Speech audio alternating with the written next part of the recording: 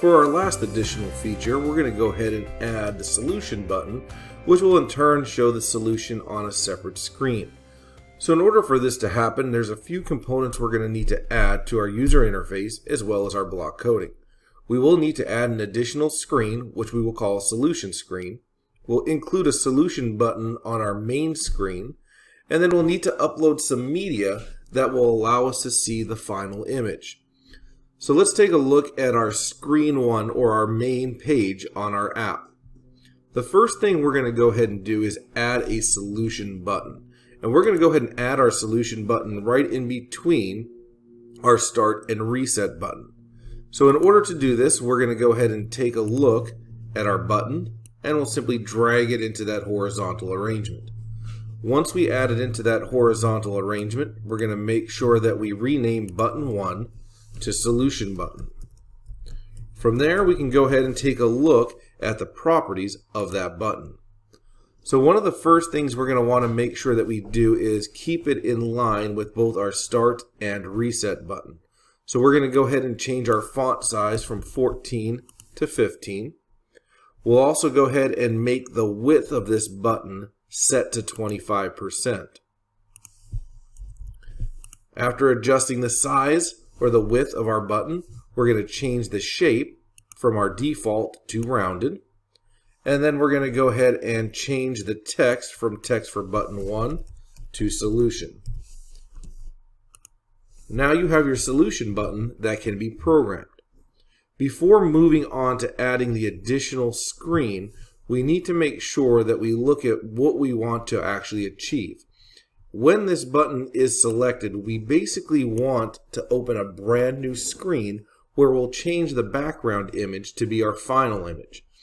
In order to do that, we're going to need to go to our block coding, and we're simply going to go ahead and select when the solution button is clicked.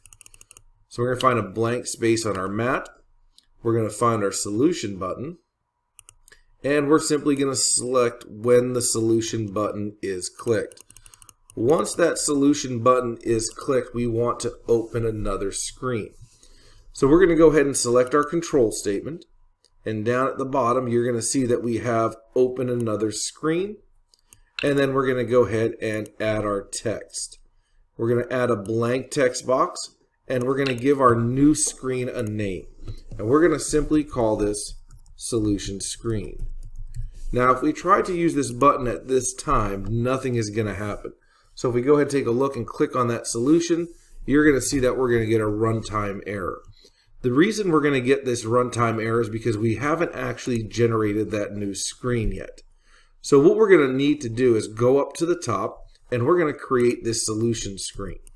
So we can hit add screen and instead of calling screen 2, we want it to match what's in that text box. So now when we go ahead and hit OK, we've now created two separate screens, screen one as well as your solution screen. Now if we go back to screen one and test our button again on our app, we should see that it should basically bring us over to our next component or our next screen. So let's go ahead and give that a try.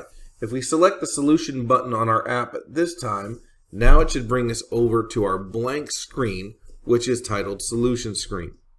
So from my solution screen, I'm going to go back to the designer view. And in this case, I'm going to go ahead and modify that solution screen just a bit. The only thing I really need to change on that screen is that we're going to get rid of that title as we did on screen one. Now we're going to need to add our final solution to our app. The way that we can do this is by taking our app and simply placing all of the organ systems in the correct location. Once they are in the correct location, you can take a screenshot from your device and upload that to your computer. What we will need to do is upload some sort of image, either a JPEG or PNG, to your media folder in order to change the background of your app. As you can see here, we have an option to change the background image. We can't do that unless we actually have the solution image in our media folder. So we're going to go ahead and select upload we're going to choose our file. And since I've already uploaded my solution image to my computer, I should be able to go ahead and find that and upload it into the media folder itself. So we'll go ahead and look find my solution ping, and I can go ahead and open that. Once I select OK, it should be added to my media folder where I will be able to use that at a later time. Now what your image will actually look like is just your simple build a body outline with all of the organ systems in the correct location. So now that we've gone ahead and uploaded that solution ping to my media drawer, I can simply go to my background image and I'm going to look for that file. Once I select that file, I'm going to go ahead and hit OK. And there you have a background image. Now this background image will only appear once the solution button is selected. We now need one way to get back to our original screen if we choose to use that solution button by itself. So in order to do this, what we're going to go ahead and look is just using a back press button. So if we select the solution screen, we can use the back press on our device to get us back to the original, uh, original screen. So we're going to use one back press. Going to our control, we're going to go ahead and find open another screen. And then we're going to use our text box and we must make sure that this matches exactly what our screen is titled up here, such as screen one. So we're going to go ahead and type in screen one.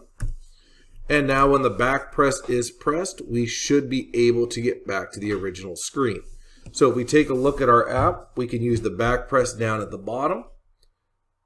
That's going to bring us back to our original screen, which should have all of the information located. So there you have it. Test it one more time. Solution button will bring us to the solution screen, and our back press will bring us back to the original state or original screen where we can reset and play the game again.